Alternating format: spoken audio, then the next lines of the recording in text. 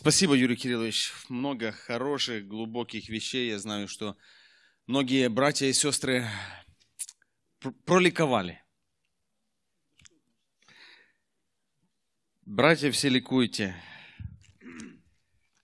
А, ну вот, много разных. Вот задаются люди вопросом, какие учебные заведения вы оканчивали? Вот слушают ваш э, русский язык, в, Омской области есть город Тара на севере в тайге. Там вот э, в Омской области я учился 9 лет в этой школе, а потом Омский строительный техникум. И потом я достраивал коммунизм, как вы видите, неудачно. Коммунизм распался. Это все, да, на этот вопрос? Хорошо, ну все. А сколько часов должен работать муж, чтобы его семья не была обделена общением с ним?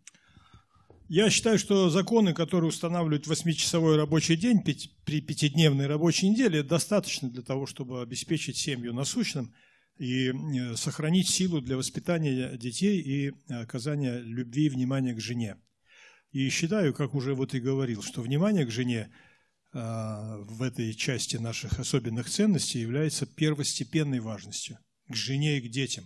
А тогда Бог восполнит труд, труд достаточный, чтобы было хлеб насущный, удовольствие было.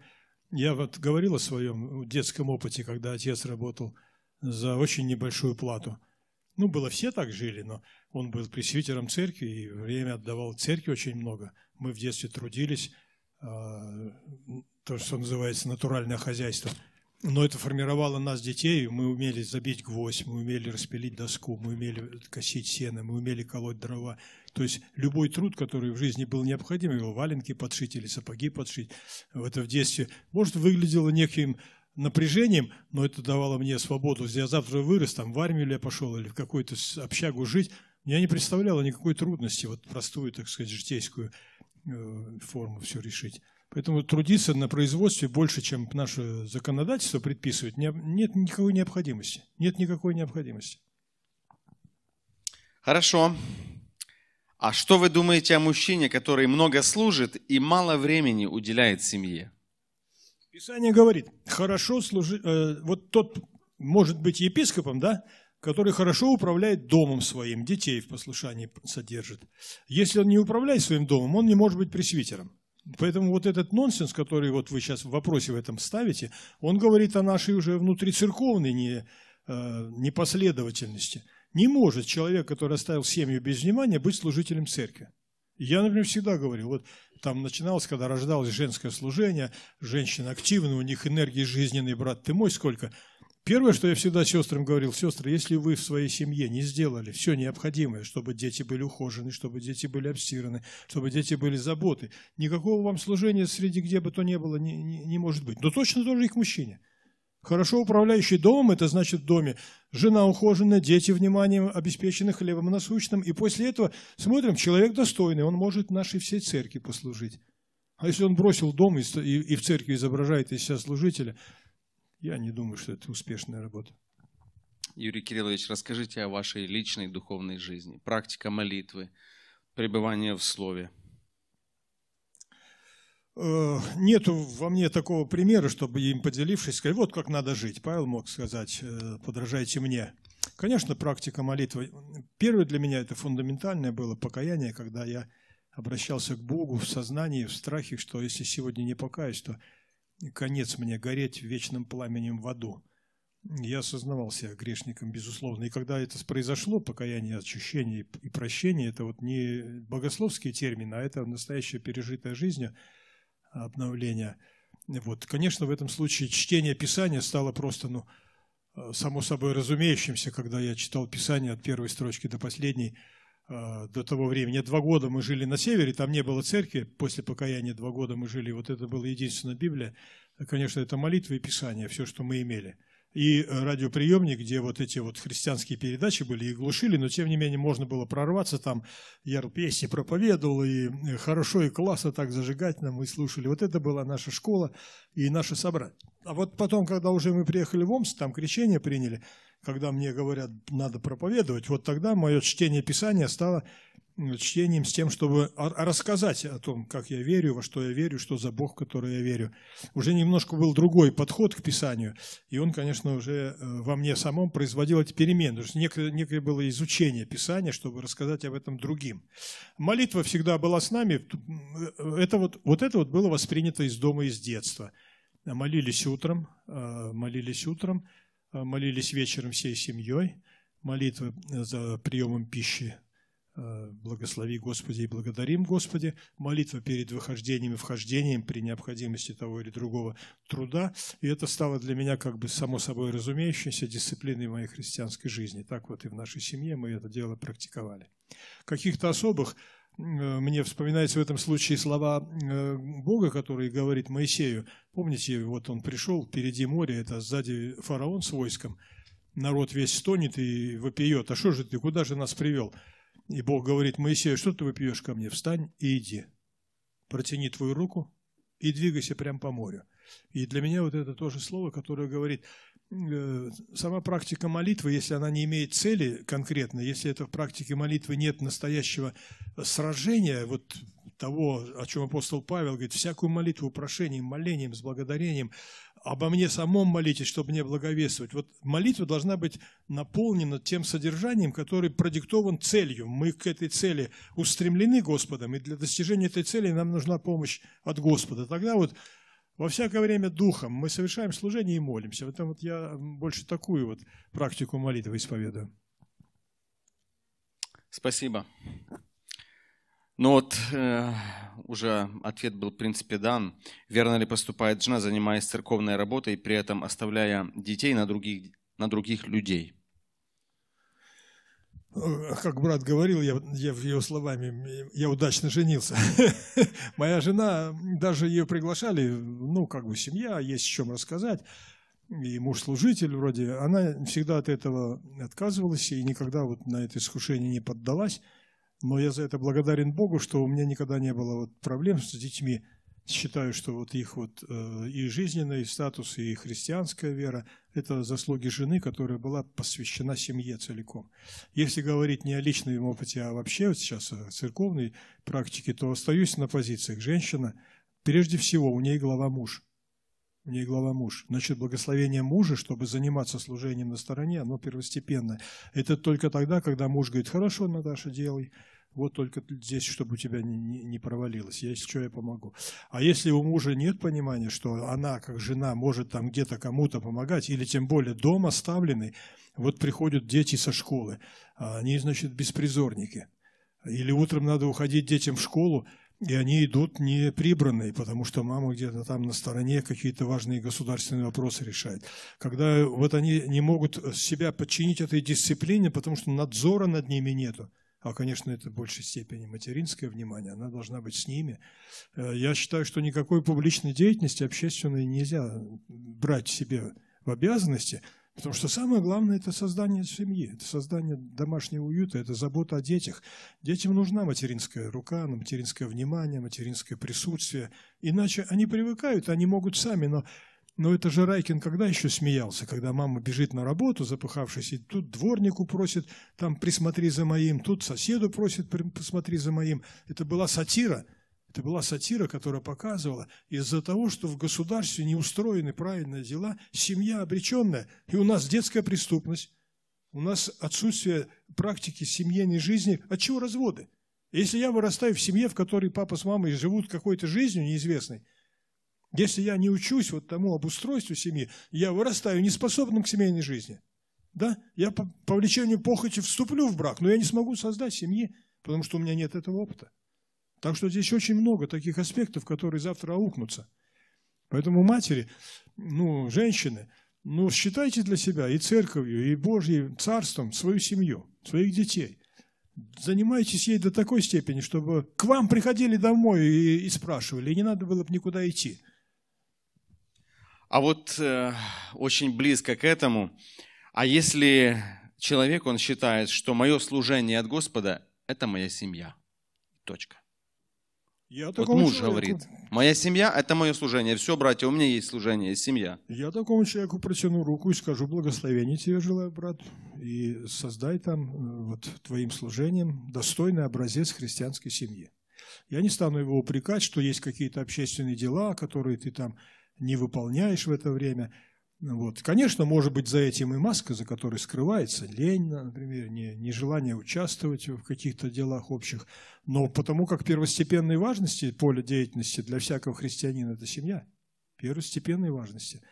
И поэтому я могу сказать такому человеку, благослови Господь. Благослови Господь.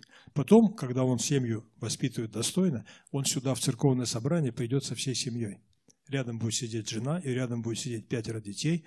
Они будут семьей. Они не будут, папа сюда сел, мама туда сел, а дети бегают где-то в вестибюле. И это наша трагедия. Это наша трагедия. Потому что в наших церквах, я помню мой шок, я приехал из Омска в Москву, как раз наступила перестройка. Московской центральной церкви, да простит меня Господь, что я называю прямо по имени, там что-то под, под 600 детей в воскресной школе. Ну, то есть был бум такой, был, был такой бум. Неверующие отдавали детей своих, потому что разрушился коммунизм. Потом проходит пара лет. Я всматриваюсь в аудиторию. Средний возраст 73 года. Где дети? Где дети? Где молодежь? Да, есть там всегда на балконе молодежь. Но где 600? И так поглядел во все, почему я сейчас так говорю, э, может быть, рисковато, что в наших воскресных школах не должно быть вот этого извращения Евангелия и истины о Боге, сказочной такой, да? А должна быть серьезная, настоящая э, проповедь детям. И поэтому, когда мы э, думаем, что общее занятие важнее, общие церковные дела важнее, а семья брошенная, вырастают подростки и уходят в мир. И уходят в мир. Это статистика ужасная. Статистика просто вот бьет под корень. Особенно девчонки еще маломальски сохраняют. У них есть, так сказать, больше тяготения к Богу, страху Божьего, просто послушания. А пацаны куда угодно идут. И это страшная статистика, которая в воскресной школе были десятки и сотни э, де- детей, выросли до подросткового возраста, их нету. Это точно. Дай Бог, чтобы так не было. Верно ли поступает муж, уезжая миссионером и оставляя жену, маленьких детей? Как правильно это по Писанию? Как вы думаете, исходя из опыта? И похожий вопрос, как вы относитесь к заработкам за границей? Возможно, немножечко вот разные. Там вот на мисс- на миссию, но оставляет семью свою. А вот здесь заработки за границей, а результат тот же. Трагическая реальность, которую просто так игнорировать нельзя. Но миссия – это, безусловно, духовный подвиг. И э, я бы сказал, что как небольшой промежуток такого освоения территории миссии возможно, когда муж уезжает, оставляя семью. Но как небольшой промежуток времени с четким ясным представлением. Вот пройдет вот этот период времени, и знай, что мы с тобой будем вместе там. Потому что если муж отделяется от семьи, то миссия уже сразу подвержена неполноценности, она уже сразу калека, она не является настоящей миссией. Муж и жена – это неразрывное единство. И я не могу обосновать э, уход миссионера на какие-то святые поля, когда оставлена жена и дети без его внимания и присмотра, если это тем более продолжительное, неограниченное время. Я считаю, что цельность семьи должна быть такой ценностью и святостью, которая ничем не повреждается и не подвергается никакой опасности, даже перед лицом такого подвига миссионерского. С другой стороны, бывают ситуации, когда вот такое время миссионерского служения не- необходимо освоить и выполнить, и жена принимает это для себя, как тоже участие в миссионерском труде, благословляет мужа, отпускает его на это время, и они в таком согласии, в котором нет ни подозрения, ни опасности, в котором есть ясность, целостность вот этого решения. Так бывает. Это исключительный случай. Просто нельзя дать такого универсального рецепта, что нет и нет, или можно. Это всегда индивидуально. В части вот заработков, которые, ну, отхожий промысел он всегда бывал, он тоже сопряжен с такими страшными последствиями, как разрушение семьи, как две семьи у одного мужика живет потом на два дома. Э, Это, безусловно, вещь, которая, ну, тоже опять э, дать а, универсальный рецепт на все случаи жизни я не возьмусь. И понимаю, что ответственность мужчины, чтобы в доме у него э, был достаток. И вот он живет в обстоятельствах, в которых у него этот достаток здесь невозможно. Его из воздуха не высосешь. Надо где-то найти, надо предприимчивость проявить некоторую изобретательность и найти вот эту возможность, чтобы семью обеспечивать хлебом. Но помню, когда вот моего отца осудили, его забрали из семьи, увезли там куда-то братскую ГЭС строить. Но это мы остались без отца. Это тяжелое, это, это только христианское или христово заступничество сохранило семью и нас с хлебом и совсем. Но, Сколько лет не было отца? Э, наверное, пару лет. Ему пять лет дали, но потом до конца он не отбыл. Да, по всем этим инстанциям хлопоты, его судили, с работы взяли, зато не отца судили. Но тем не менее, вот эти вот месяцы, которые были такой катастрофической вещью, их нельзя было самому принять, да? Это Бог допустил.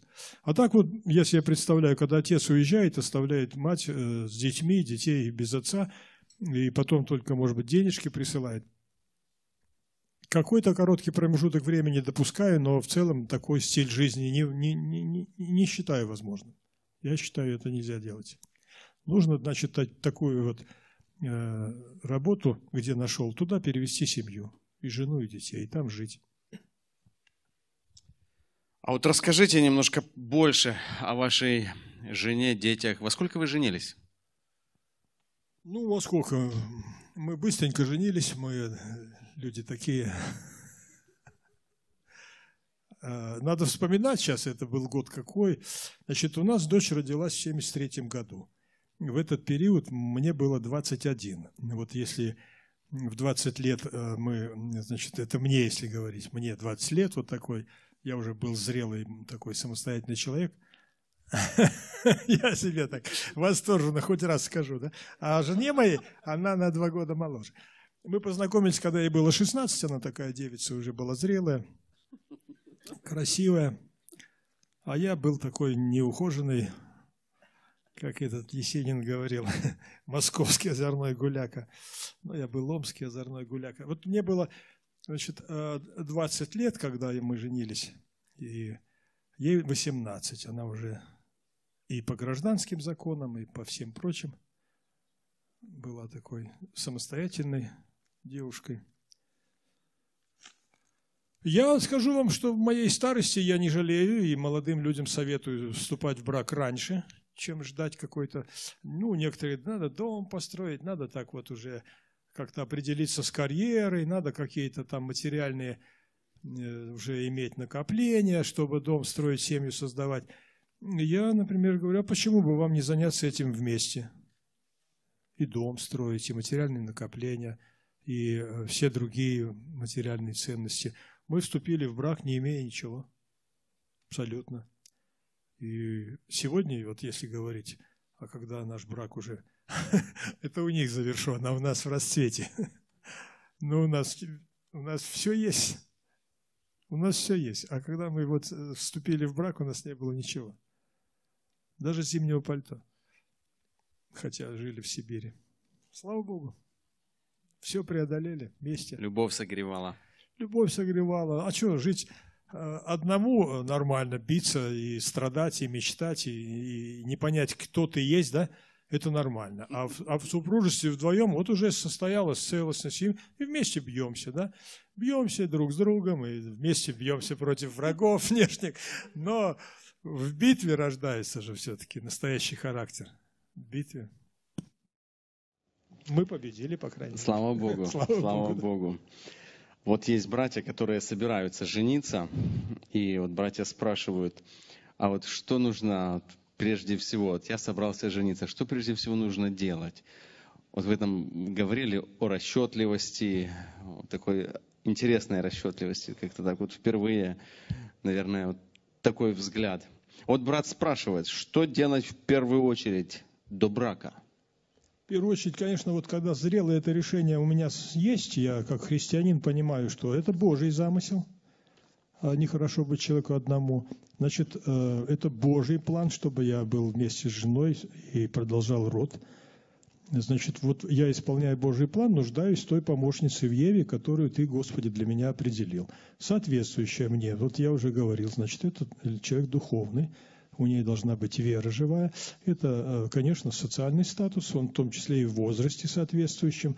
Я считаю, 2, 3, 4, может, максимум года, которые не играют роли, разница в возрасте. Но больше это уже создает некоторую проблему. В этот период э, возникает уже формирование, вот прошло в молодости характер, уже есть устоявшиеся принципы, и в возрасте они уже могут сыграть такую вот не очень положительную роль, когда друг к другу вместе приобщаясь, привыкания и э, общие ценности создавая, такая разность может стать поводом для конфликта. Поэтому вера, вот эти социальные общие ценности, возраст соответствующий, и тогда я считаю, что молодой человек, я, допустим, вижу, что такая сестра Катя, вот она здесь рядом с нами живет. Конечно, я сказала в совете с родителями, да, совет с родителями очень важен, они могут подсказать из опыта своего доброе слово. Здесь, правда, нужна и родительская мудрость, которая не диктует и не, от, не отказывается от совета. И пасторское внимание, например, подойти к пастору. Вы знаете, мне были такие вот интересные случаи. Я учился в техникуме, я был совсем пацан безмозглый, да? У нас были люди, которые уже вот после армии учились, уже такой более-менее возраст имели где-нибудь между 20 и 30, да? И два таких интересных эпизода вот остались у меня. Они подходили ко мне, мужичины, мужичины такие, и они у меня так вот спрашивали, вот хочу жениться. Вот такая девушка, это совсем безбожное общество, я тогда не был верующим. И вот такая девушка, вот мне нравится, как ты думаешь? Э, это осталось у меня в памяти, как вот такая вот необходимость молодому человеку свои чувства, свой выбор и свое решение подкрепить ну, авторитетным мнением. А в церковной аудитории, если я верующий, вот это авторитетное мнение, это родители, они э, в единстве они подтверждают Божье благословение. Я хочу, у меня есть такое представление, родители благословляют, пастор церкви благословляет, это значит Господь э, с нами вот в этом акте. И тогда мы приступаем. Э, вот как я уже рассказывал, Катя, у меня есть такое желание, я молился, меня Господь открыл, я хочу тебе сделать предложение. Вот рассказывает Билли Грэм, который старец, сейчас ему сто лет уже скоро будет, если не нынче, да, и он рассказывает, что когда он решил жениться, то есть у него было зрелое решение, надо жениться. Посмотрел так в зал, о, красивая Руфь. Подошел Руфь, я хочу жениться, будь моей женой.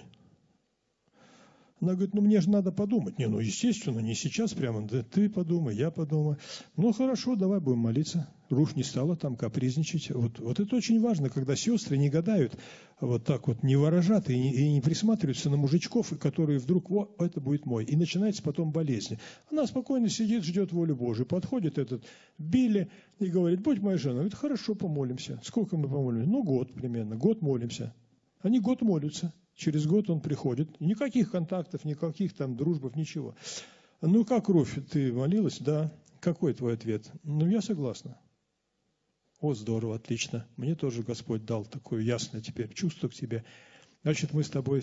Хорошо, давай теперь будем еще молиться, чтобы у нас было это действительно проверено. Еще будем год молиться вместе, чтобы наш брак был действительно не случайным, не решением каких-то там эмоций, да, а настоящим духовным осознанным актом.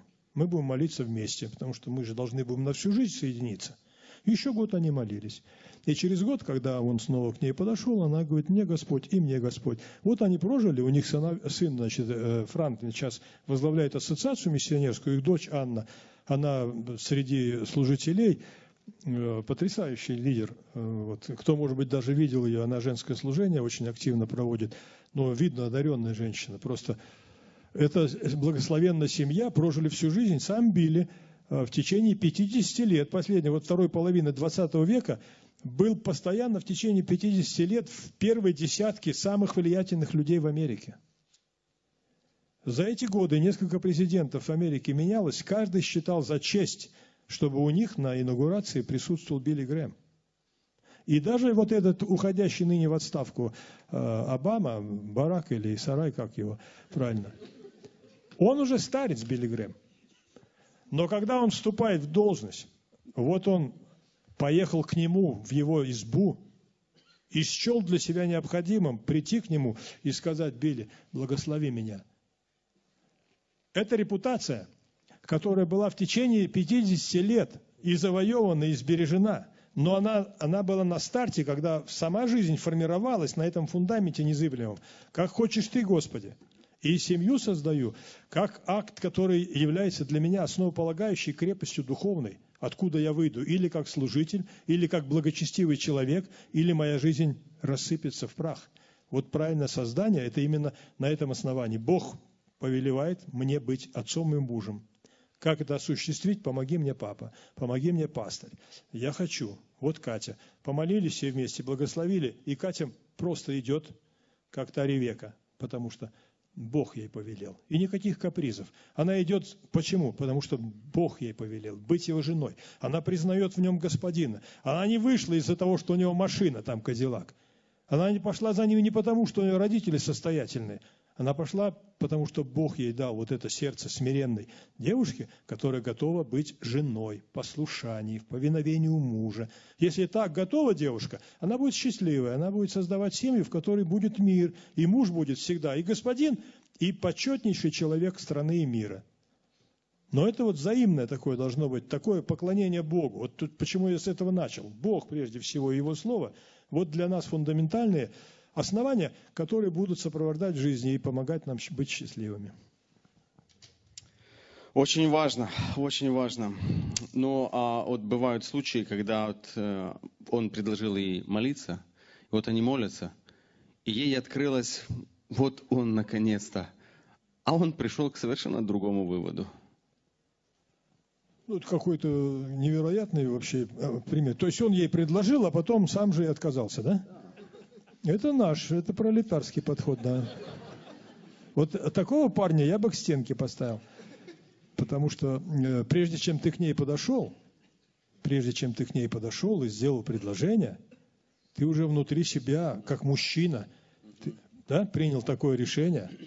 А это ветреное создание, которое, давай помолимся, я хочу, чтобы ты была моей женой. А на утро мелькнула какая-то более привлекательная, и он говорит, да Ваня-то мне нужна, а вон я видел Феня, она вообще блеск. Это ветреный человек. Это ветреный человек. Девушке, которая оказалась вот в таком состоянии, я всегда говорю, помолись Богу и поблагодари. А если бы ты не, а если бы вы сошлись, а ты бы всю жизнь видела его только пятки, которые сверкают от одного дома к другой – это, понимаете, какая страшная была бы катастрофа для жизни, потому что на всю жизнь брак-то один, да? Вы уже вступили, вы уже дали обещание, а он неверный своему слову. Мужчина потому и мужчина, что он верный своему слову. У него есть слово «да-да», «нет-нет». Это не тот человек, который хозяин слова «хочу дал, хочу взял назад». Это, это вот страшная вещь, то, что вы сказали. А вот сегодня мы живем во время, э, когда действительно вот семья переживает кризис глубокий. И разводы, это уже, оно пришло к нам. Они, они есть. К сожалению, и в церквях. Вот жена вышла, развелась с мужем, вышла замуж за другого, за неверующего. Что делать мужу? Э, к этому же, как вы относитесь к повторному браку? Когда ситуация именно как вы вот представляете здесь, то есть есть э, грех прелюбодеяния, женщина оставила семью и ушла к другому мужчине. Да, это уже признак окончательного разложения в обществе, и в том числе в женщинах, э, которые еще в недалеком прошлом трудно было бы себе представить. Э, это, конечно, и э, мужчин характеризует как таких инфантильных, я не знаю, как это, не хочу в это углубляться. Но в, этой случае, в этом случае оставленная сторона свободна, да, так сказал Христос. Э, нерасторжимый брак, кроме вины любодеяния. Грех прелюбодеяния э, брак разрушает и делает его ну, уже просто отсутствующим, его не существует. Вина прелюбодеяния для человека обманутого оставляет его свободным, он, принят, он имеет право вступить в брак или простить и принять, когда э, вот такая сторона раскаивается, признает свою ошибку, то это может быть лучший исход, но когда женщина уходит, я знаю такие случаи, когда женщина оставляет э, мужа, оставляет детей, увлекается какой-то страстью, это вообще какое-то извращение. Вот, и мне приходилось видеть, когда женщина, это попавшая вот в это обольщение, разорвала свои отношения с церковью, отношения с детьми, отношения с мужем. Казалось бы, там была для нее какая-то невероятная сила притяжения – которая через какое-то время обернулась потерей всего. Этот муж больной раком умирает, а у нее не остается ничего. Ее родной муж, ее дети, конечно, уже ее не хотят признавать и видеть. Ее муж вступает в брак, и не, сразу, через какое-то время, но он вступает в брак, создает новую семью. Она остается у разбитого корыта, достойна всякого сожаления, но она выбрала сама этот путь для себя. И я считаю поэтому, когда человек э, предает свою супругу или супруга, все чувства жалости здесь просто должны быть выключены. Должна быть справедливость, которую говорит Христос. Создание новой семьи, свободная жизнь – совершенно абсолютное право человека, который предан. А вот тот, который предал, предатель, вот тот уже обрек себя на мучение. И здесь, потому что проходит это время увлечения, страсть это проходит, наступает минута прозрения, что я наделал, Господи, как тот блудный сын, да, у свиного корыта. Только идти уже некуда. Вот почему мы говорим в самом начале. Брак – это святое Божье установление. Брак нерасторжимый. Брак один раз и навсегда.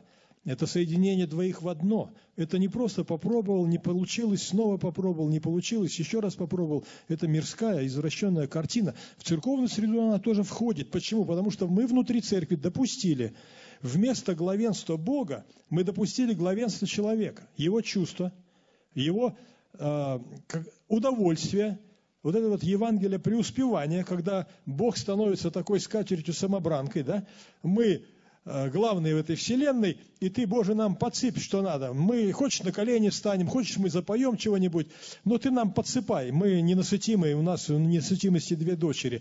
И мы, значит, тут пришли к Богу, получая эти удовольствия. И физические, и материальные, и социальные, какие угодно. Это извращение Евангелия.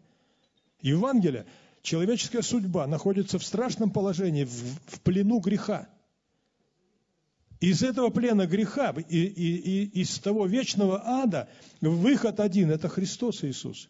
И когда мы приходим в этом понимании ко Христу Иисусу спаси души наши, вот тогда мы встаем, омытые, очищенные, и говорим, Господи, что повелишь мне делать? В браке, в служении в церкви, отношении в государстве, мы всегда на этом страже. Господи, что Ты повелишь мне делать? А здесь вот то, что вы нарисовали, когда разрушается семья, легко и просто. Вчера обещал, стоял перед церковью. Ты веришь? Ты любишь? Люблю. Ты будешь ей верен? Буду ей верен. Ты будешь хранить любовь до смерти? До смерти буду хранить. Проходит год, и, и куда что девалось? Вот это вот продукт безбожного атеистического общества. Человек – болтун – Человек обещает и врет, даже, даже не моргнув глазом, не выполняет свое обещание и нисколько не стыдится. Вот это разложение моральное, которое произошло, и свидетели, которым мы с вами стали, это только лишь подчеркивает, насколько опасно вот это заигрывание с нашими страстями человеческими. Они нас заведут вот в эту петлю, из которой невозможно будет выбраться. И поэтому, вот кажется, это предписание такое жестокое. Я не люблю, зачем я буду мучиться, лучше мы разойдемся. Это же ведь э, безбожный, э, безбожный постулат в нашу, в нашу среду вошел. Я не люблю, зачем я буду мучиться? А что такое любовь? Любовь же это служение. Это же не, не, не эмоции, которые возникли и не возникли. Помните историю в Ветхом Завете, когда Амнон влюбился там в сестру свою, да? Я, говорит, не могу ни спать, ни есть, все, уже сохнет, лежит. Что такое Амнон? Вот если только сестра мне даст мне хлеба, там его подучили, вот она мне сварит похлебку, вот я, может, тогда выздоровею. Эта страсть половая, которая в нем возникла, привела к тому, что он свою сестру изнасиловал. Любовь была невероятная, до гроба. А тут, когда он это сотворил, вдруг возненавидел ее лютой ненавистью. Вот эта вот характеристика, этот эпизодик, он оставлен для того, чтобы мы понимали, половое влечение – это не любовь. Половое влечение – это половое влечение.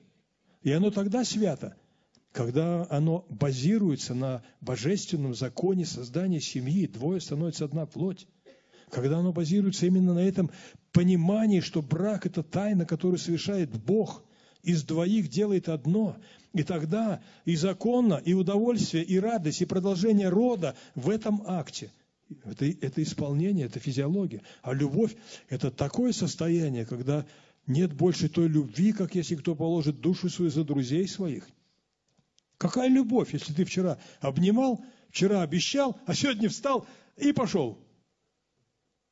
Что это за любовь? Это не любовь. Это не любовь. Это гнусное свидетельство несостоятельности человеческой. Это просто страшная демонстрация продажи греху, предательства. Спасибо. Вот еще вопрос. Что делать для того, чтобы жена больше и больше поддерживала мужа и была советчиком и поддержкой в том служении, которое он делает? Ну, конечно, это вот вопрос уже может быть из состояния ну, какого-то э, отчаяния, потому что э, надо сказать, что делает ли муж все для того, чтобы жена чувствовала поддержку его и внимание его, и любовь, потому что если муж только ожидает от жены поддержки, а сам никаким образом эту поддержку ей не оказывает, это эгоизм, и рассчитывать ему на успех напрасно, напрасно. Все-таки надо понимать, что же замужество, замужем жена – Э, которая признает своего мужа господином, значит, он ответственен за весь этот климат. Он ответственен за отношение ее к его труду, к его посвященности к этому, этому труду. Это он должен создавать вот для нее такой безопасный мир, то мы говорили вот о доверии да, мужу, об этих искренних отношениях по отношению к жене. Я же говорил, эти вещи простые. Для меня, допустим, они святые – а каково для жены, которая сидит вот так на лавочке и часами ждет, пока этот муж-служитель, а к нему там очередь таких женщин, которым, э, в общем-то, и вопросы пустяковые, а иногда и никчемные, но просто надо как-то засветиться, всякое бывает. А она сидит на лавочке, сидит она час, сидит она два, и потом этот изможденный мужик выходит, и что она должна после этого думать? Вот мой муж святой, да? А мой муж э, прошел мимо жены, и не оказал ей должного внимания, не подчеркнул никаким образом, что это моя жена, что даже, может быть, подождите, ребята, вот я тут сейчас с женой объяснюсь, ей попрошу, может быть, мы с ней решим вопрос. У нас это, в общем-то, отношения не налажены. Поэтому это первое, что вот в этом вопросе я бы сказал, э, сделай так, чтобы твоя жена чувствовала, что ее боль, ее переживания, ее заботы тебе тоже заботят, тебе тоже доставляют боль, и ты их понимаешь, ты их понимаешь. Она в тебе видит опору свою. В ответ ты получишь то, что ожидаешь и что хочешь. Это настолько взаимно, это настолько вот так, знаете, это требует нашей общей жертвы, и жены, и мужа, безусловно. Но вот могу сказать одну историю такую, она, конечно, не из, не из канонических книг, но мужик, он такой, ну, наш пролетариат, такой, э, пришел домой как-то, что называется, под градусом, да, и плохо даже помнит, где он был. Утром просыпается, белоснежная постель, все, понимаешь, ты вот так вот райский уголок, сам он раздетый, и только в башке звон, где же я был, где же я нахожусь. А у него такой шок, потому что когда он в таком бадуна приходил домой, то это значит спал у порога, и даже его никто не раздевал. Он там тут все, тут, что называется, под себя. А тут в такой постели, это для него шок. Он выходит, на столе завтрак приготовленный, там на скатерти белый, рубашка поглажена на стульчике висит, штанишки. Из соседней комнатки выходит сын. Сын, слушай, что тут, что тут происходит, что тут было? Сын говорит, да не знаю, вчера ты пришел, как всегда, бухнулся тут у порога. Ну, мать хотела с тебя эти сапоги стянуть, а ты начал брыкаться, орешь, женщина, не тронь меня, я женатый. Вот женщина все сделала, потому что она увидела, что как бы ты не был пьян, но ты женатый, ты помнишь свою жену. Ты жену свою помнишь, ты другой женщине не отдаешься. Она, говорит, в благодарность, и выстирала тебя, и вымыла, и постель белую уложила. Это, конечно, вот, вот такая иллюстрация не из, не из канонической притчи, но мне кажется, она говорит о том, что вот чтобы женщина поддерживала тебя, мужик, будь мужиком. Это замечательно. Замечательно, да. Как муж должен соединить в себе качества сталь и бархат? Сталь и бархат? Это вы упоминали? Я такого не говорил, я вы таких слов даже ну... не знаю, да. У меня слово «сталь» вызывает всегда, ну, такие ассоциации, как закалялась сталь. А это коммунистическая книжка, хотя там хорошие есть, может быть, примеры. А бархат – это вообще это из области княжеских покоев. Поэтому я не знаю, что это такое, стали бархат. Ну, я могу, могу, конечно, так, ну, как бы ассоциации возникают, да, мужчина непреклонный, и в то же время он умеет быть нежным и мягким. Я вам скажу, что женщина, вот мы говорили, на первом месте у нее желание нежности, да? И на первом месте у нее нежность, но будь к ней нежный, вот это бархат. Будь в ней нежный, будь к ней внимательный, поцелуй, на ушко скажи слово ласковое, цветочек подари, скажи, что ты самая моя единственная, и, и делай это. Тебе станет это самому легко, если первый сделать э, в первый раз трудно. Нет таких слов в словаре. Ну, потренируйся день, зайди в туалет, потренируйся. Вот, потому что язык не знает таких слов. Это правда проблема. Что вы думаете?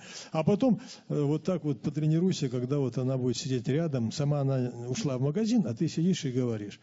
И вот потом Эх, ломка страшная. Это хуже, чем из наркотической зависимости выйти. И ты начинаешь говорить ей прямо в глаза. И чувствуешь вдруг, слушай, так это же здорово. И она тает. И ты начинаешь говорить ей. И это становится твоим уже значит, фирменным знаком, твоим достоинством. Это твой бархат. Ты жене своей эти знаки внимания оказываешь. Подаришь ей безделушечку какую-нибудь там. А, духи там подаришь ей, цветочки подаришь ей. Но это не забудет она никогда. А сталь, ты, в общем-то, как мужик, сталь нужен тогда, когда вот какая-то нужна защита дома и семьи. И ты тут, брат ты мой, отразишь любую напасть, отразишь любую склоку, любую военную угрозу ты отразишь, потому что ты мужчина, ты стоишь на страже дома. Ну, иногда вот на бракосочетаниях я говорю жениху. А, и невесте это в равной мере, но говорю жениху. Ты вот как Христос, который представляет свою церковь святой. Что это значит? Пройдет некоторое время, ты на свою жену будешь смотреть вот этими глазами трезвого, сытого мужика, да? У тебя исчезнет этот пиетет, у тебя исчезнет вот такое вот ликование и любование, а это естественно, тебе нужно это преодолеть. Мало этого, ты попадешь в компанию мужиков, а всякие мужики бывают. Я, допустим, верующий, я работал на стройке, а кругом а, меня, это что такое стройка? Там химики, там пьяницы, там такой вот отстой. И разговоры там, ну, всякая похабщина – Помню, один молодой человек у нас был, он женился, и он с таким ликованием рассказывал о своей жене, о своей супружеской жизни, что это для него было таким радостным переживанием. Ну, все это прекрасно. Потом проходит годик, может быть, чуть больше, и вдруг, что я слышу, он начинает рассказывать о своих отношениях с женой таким же языком, похабным языком, анекдотов скабрезных, которые, ну ладно, каких-нибудь там безымянных, да, чудищах, а тут он за своей жене. Я говорю, Рашид, а что с тобой произошло? А как ты все позволяешь о своей собственной жене такие вещи похабные говорить? Ну, он так смутился, но я, но это к чему? Вот, вот ты сталь, вот ты сталь. Когда твоей жене скажут какую-нибудь похабную шутку, вот ты встань и в нос дай такому человеку похабному, как сталь. И скажи, если ты еще жену мою когда-нибудь упомянешь в таком виде, я тебе буду по-другому разговаривать. Вот ты сталь. Потому что ты за свою жену защищай, готов вплоть до того, что рискую своей жизнью. Потому что это ты и, и она одно. А, а мужики часто допускают. Часто допускают. Иногда, может быть, жены дают повод, так сказать, раззадоривая в мужике эти страсти плотские. Но недопустимо, чтобы мужчина позволял свою собственную жену, чтобы кто-то унижал его присутствие, он бы, так сказать, или радовался, или поддахивал бы, или да-да-да. Вот это вот должна быть сталь мужская. Это замечательно. А вот еще вопрос о детях. Как оградить детей от э, разного влияния, навязывания? Эм, вот, в частности, празднуют разные праздники, эм, откровенно языческие, и даже в школе. И вот как бы ребенок, он может и подарок получить, а мы понимаем, как верующие люди, что это неправильно. Как оградить, чтобы у ребенка не было тайной обиды? Вы знаете, я говорил уже, что родители, вот, младенчество, дети, мы получаем детей вот абсолютно беспомощные, да? И когда дети возрастают, ну это же удивительно, когда вот этот папа, ну такой мужик, как десятки, но к этому папе ребенок, еще ничего не умеющий сказать, сразу же улыбается, и у него там эмоции возникают. А мама тем более, ладно, мама, понимаем, она и родила, и она вскармливает с пеленочек. А чужой дядька, чужой дядька. А потом наступает момент, когда папа эту связь теряет именно в силу своего равнодушия. Как оградить? Авторитет родительский до последнего времени, пока сами родители не растеряют, у детей самый высший авторитет – это родители. Школа влияет, там ученые рассказывают, что человек произошел от обезьяны, смеются, Бога нет. Но для детей, я могу сказать по собственному опыту, жизнь, вера, убеждения родителей остаются выше всех академических открытий, всего давления общественного. И поэтому э, я воспитывался в семье, в которой не запрещали там, посещать общественные мероприятия в школе, э, вот. Но я э, внутри себя так вот имел такую страсть подражать родителям. В них для меня был эталон. В них для меня был эталон. И если это была вот э, граница, вера в Бога и неверие, то для меня вера в Бога оставалась такой вот э, святостью, которая никакая наука не могла разрушить. Это вот в детском восприятии, когда еще там критического мышления не было. И поэтому я могу сказать, если мы говорим о защите детей, то прежде всего жизнь благочестивая и святая вот в доме, отцовском, материнском, в котором благоговение перед Богом, в котором вот этот вот авторитет Бога, его верховенство и в Слове Божьем, и в практике жизни не показные, не два часа в собрании, а именно вот здесь с детьми вместе. С детьми вместе поклоняемся, молимся, веруем. Для детей это лучшая, самая сильная защита. Вот на них будет давить там атеистические мракобесия и всякие праздники, они их не повредят. Потом возникнет период, когда друзья станут авторитетом, когда просто тяготения неосмысленные в силу компанейщины, да, ну что ты там типа э, стесняешься, а что ты там боишься вот этого. И ребенок возникает вот этот момент, ребенок, вот я помню историю, когда в школе возник конфликт с учителем, весь класс говорит, мы не пойдем на уроки к этому учителю, она такая сякая, разве такая? Весь класс говорит, мы не пойдем. Вот эта вот корпоративная этика предполагает, что все, конечно, кто тут может возразить. И одна девочка встает и говорит, я не буду. Почему? Я верующая. Вот пример как этот сохранить авторитет, как сберечь. Вот это в том, что верующая девочка вот в таком возрасте восстала против всего класса, сохранила верность этим идеалам, которые исповедует семья. Это потому, что практика и учение в родительском доме не расходятся. И, и эта девочка могла стать, это же примеров много таких. Поэтому, когда мы говорим о том, чтобы сберечь авторитет и влияние, и чтобы дети наши были вот так близки и так вот с родителями откровенны, это все в наших руках родительских. Вот еще вопрос относительно, вот он пикантный. Э, в Украине конфликт на Востоке.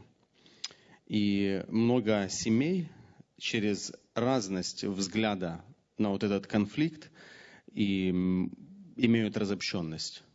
Что бы вы посоветовали вот таким семьям, где вот муж, он конкретно вот он радикал, а вот жена, она понимает, что это не совсем нормально? Вот такой вопрос. Если это верующие люди, то тогда, конечно, здесь нужно духовное внушение таким радикалам, потому что это обнажает э, подмену в наших ценностях, где Христос, главенство Его – игнорируется. И я вот, например, в радикализме пролетарском, радикализме патриотическом, э, я его демонстрируя, фактически отказываю власти Христовой. Я предпочитаю власть вот эту земную. Я попадаю или я обнаруживаю для себя и для окружающих, что моя вера христианская, она вторична – я оказался зависимым от влияния вот этих сил политических, авантюристических, но они меня сделали своим агентом. Я сегодня за, за вот эту вот идею, за этот кусок земли разрываю отношения в семье, разрываю отношения в церкви, потому что я считаю вот здесь вот справедливость. Это совершенно обнаруживает совершенно неправильное представление. Нету справедливости на земле. Нету ее. Здесь, если я как христианин, вот во времена, допустим, распространения евангельской истины и Церкви Божией, войны, войны были всегда. Но церковные люди, они выходили на поля сражений. С чем? Они приходили на поля сражений, перевязывали раненых, вытаскивали с поля сражений раненых, независимо, кто за кого воюет. И известно сегодня Красный Крест – это вот медицинская такая вот милосердие организация, она родилась именно тогда, когда христиане оказывали милосердие, независимо, кто за какую территорию воюет, кто за какую страну воюет, кто какой национальности принадлежит. И пример Христа о милосердном самарянине, он о чем говорит? Самарянин некто. Находит иудея, который лежит избитый, и берет его, и вытаскивает на плечах своих, и лечит его, и помещает его в госпиталь и дает еще на содержание деньги. Иди и ты поступай так же. Вот когда вдруг проявляется, ах, этот вот этот вот самый, вот он, то его еще надо больше избить, это обнаруживает, что во мне нет Христа. Я не являюсь христианином. если говорить по максимуму. Поэтому, когда возник конфликт в семьях, когда возник конфликт, как вы говорите, пикантная проблема, это проблема не пикантная, это проблема такая трагическая а, несостоятельности нашей веры. Мы вдруг от э, принадлежности к Царству Небесному обнаружилось, мы вдруг стали патриотами Царства Земного. И при этом мы выбор сделали в пользу каких-то политических спекулянтов, пренебрегая своими братьями. Ну, я утрирую, может быть, чуть-чуть э, гиперболизирую это, но картинка именно такая. Картинка именно такая. Я должен сказать, что это для меня тоже было таким откровением. И самому мне пришлось вот так вот размышлять. И сейчас еще я вижу, как давление вот таких уже привычных, э, привычных тяготений, оно меня уводит от Христа. И я начинаю вот ту или другую точку зрения поддерживать или опровергать. Я попадаю в конфликт совершенно не евангельский, я попадаю в конфликт мирской. И, я занимаю а, чью-то из позиций, которая и та, и другая противна Евангелию. Что, что в вашем вопросе радикал, например, муж, который готов там положить голову на полях сражений, за кого бы то ни было, этому радикалу мужу надо покаяться, надо этому радикалу мужу обратиться ко Христу и увидеть, а где Христос сейчас, на чьей стороне, и чью он голову сейчас снимает. Он только свою голову помещает на крест – и молится за всех, и говорит, прости ему, отче, не знает, что делает. Вот это вот, вот, вот это вот Голгофа нам нужна. Голгофа нам нужна. Нам нужно этот политический градус снизить. Нам нужно понять, что на этой земле, вот здесь, за это нечестивое богатство, за власть дерутся обольщенные дьяволом люди. Христос никого на войну не повел. И радикализм в святой жизни – это радикализм благочестивый. А радикализм в драчке политический – это дьявольский радикализм. Вчерашние вот герои проливали кровь, убили у нас несколько миллионов людей. Сегодня люди стоят растеряны. Так что это было? Гражданскую войну, красный террор, голодомор. Ведь там же были лозунги высокие – там же был радикализм. Весь мир насилия мы разрушим до основания, а затем мы наш, мы новый мир построим. И люди многие, в том числе и христианские, и в прошлом, они пошли, они одержимы этой идеей, пошли в эту войну кровопролитную. Что сегодня? Вот прошли годы, мы, внуки тех вот э, радикалов сегодня стоим и говорим, что же мы наделали? Разорили землю, поубивали своих родных, поубивали своих близких – и сейчас мы же жертвы этого радикализма. Мы же и жертвы этого радикализма. Потому что встать на колени и сказать, Господи, благодарю Тебя за насущный хлеб, благодарю Тебя за мир в моем сердце. Не могу, потому что кругом враги, потому что мое сердце полно гнева, потому что в моем сердце какая-то какая ненависть к этим людям. Это что произошло? То, что вместо чувствований Христовых – я подчинил себя вот этим страшным, гнусным чувствам плоти. Этот радикализм – это греховная страсть. Избавление только в одном – надо ко Христу приходить. Надо ко Христу приходить, а Он говорит, любите ваших врагов. Любите ненавидящих вас, благотворите им. Молитесь за обижающих вас. А? Вот это да. Так это значит, что мы и Христа отвергли. А в этих людях Христос. Они сегодня заблудились, они сегодня, может быть, помрачение ума. Им нужно Евангелие, им нужна любовь, а мы готовы их убивать. Ну, это страшное признание. И Господь допустил, мне кажется, именно для того, чтобы мы свое христианство проверили. Оно настоящее христианство или оно такое вот избирательное христианство, ну, как тот говорил герой Джона Буньяна, из выгод. Спасибо большое за хорошее Вам время общения. Вам спасибо.